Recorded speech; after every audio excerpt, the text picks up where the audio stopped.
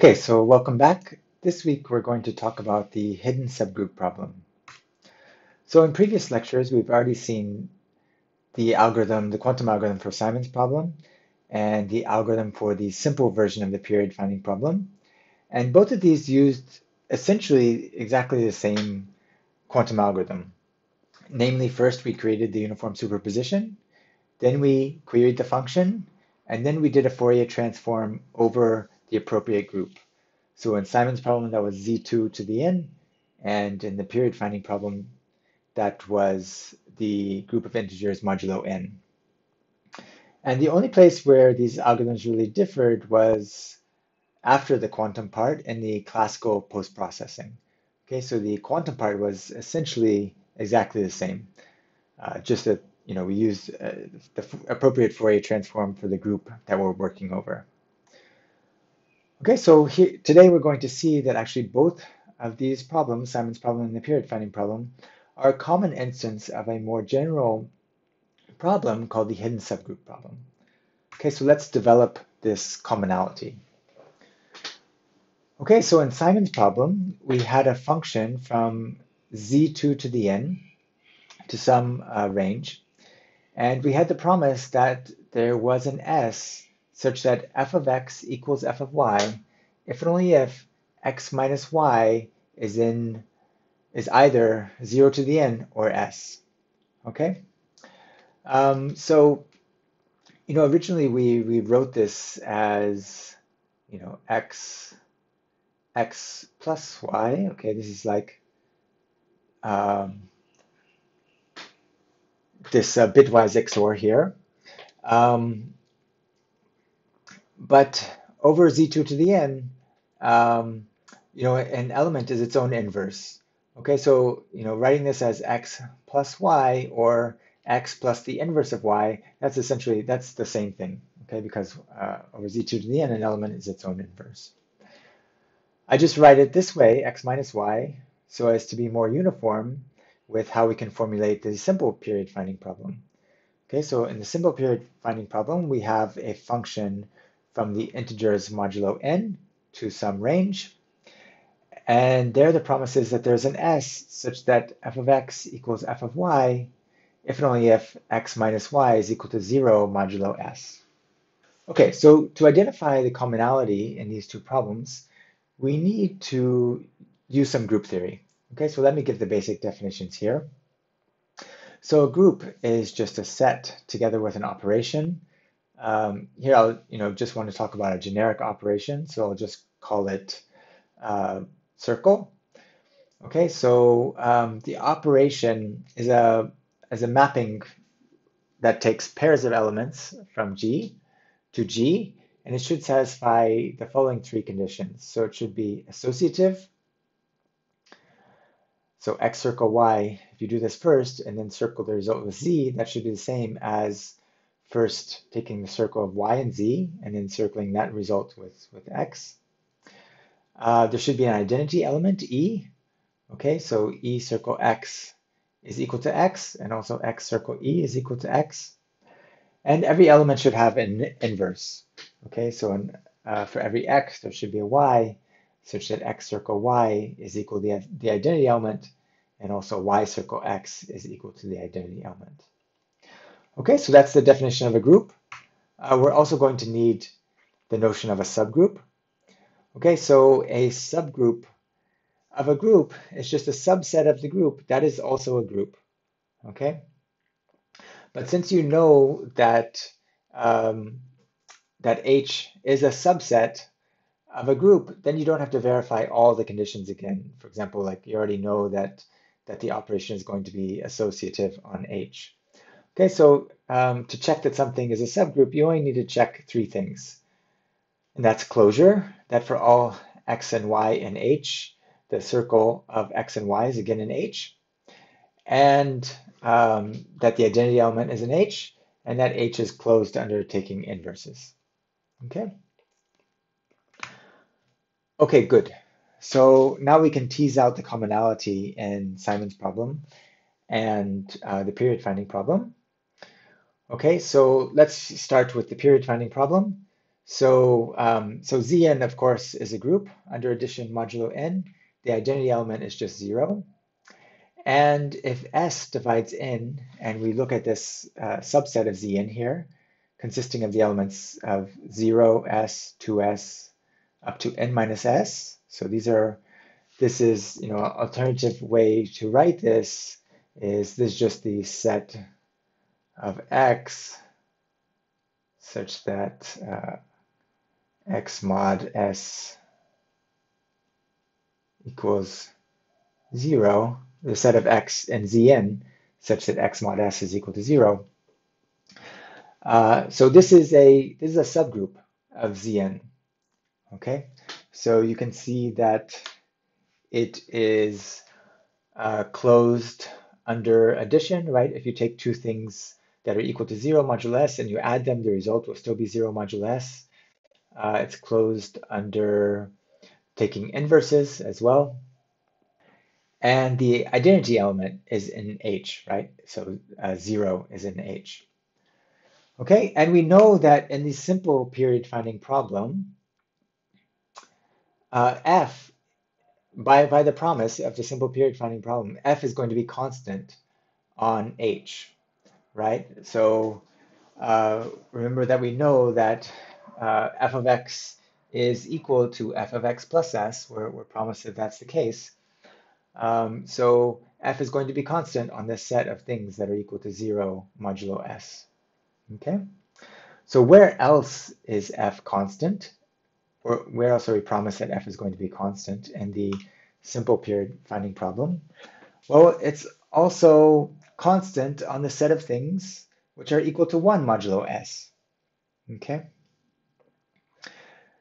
Now you see that we can write this set, it's like a shift of H, right? We can write this set as uh, the set of elements that are of the form 1 plus H, 1 plus little h, where H is in this, this subgroup. Okay, so it's basically like shifting all the elements of capital H by 1. Now, this set itself is not going to be a subgroup right? For example, it doesn't contain the identity element. It doesn't contain zero, right? Zero is not going to be one modulo S. Okay, but although it's not itself a subgroup, it is a shift of a subgroup, right? It's basically this subgroup capital H just translated, shifted by adding one, okay? And, you know, this notion is studied in group theory. Uh, this is what's called a coset, okay? So, um, H1 is a coset of capital H. So what is a coset in general? So if we have a group G and a subgroup H, so every uh, element, little g, of the group can define a left coset of H by considering this set here. So it's basically you look at every little h in capital H, and you look at the circle product on the left by G, okay? And you look at the set generated in this way, and this is a left coset of H. So now if we look at the coset generated by little g and some other element, uh, little g prime, then you can show that those cosets are either going to be identical or disjoint. Okay, so in this way, distinct cosets form a partition of the group G. Okay. So here we were doing the operation on the left. Uh, you could also define a right coset by doing the operation on the right. So looking at the things of the form H circle G. Uh, and, but when we're just talking about abelian groups, I'm just going to call them cosets. Uh, so I won't specify left or right. Okay, so um, in the case of Zn, we have these uh, n cosets of, of capital H, right? So again, capital H was our subgroup. It was the things equal to um, zero modulo S, and then the, the shifts of H, so the cosets of H are, you know, the things, the set of things equal to one modulo S, the set of things equal to two modulo S, set of things equal to three modulo S, etc. Okay, and so we can see that these cosets partition Zn. okay? And we can state the promise on the function f in terms of the cosets. So the promise is exactly saying that f is constant on cosets of h, and distinct cosets take on distinct values under f. Okay, so that's just an equivalent way of stating the promise in the case of the simple period finding problem. And also our goal in the simple period finding problem is uh, to learn S, and you see that, that S you know, generates this subgroup H so once we know S, we know the subgroup. And of course, if we know the subgroup H, then we know S. So the goal of finding S is really equivalent to, to learning the subgroup H. If the, the sense of learning the subgroup H that we mean is, you know, learning a generating set for H, right? Because S, in this case, does generate H itself. Now let's talk about Simon's problem. For Simon's problem, we work over the group z2 to the n. The operation is bitwise addition, modulo 2. The identity element is just uh, 0 to the n.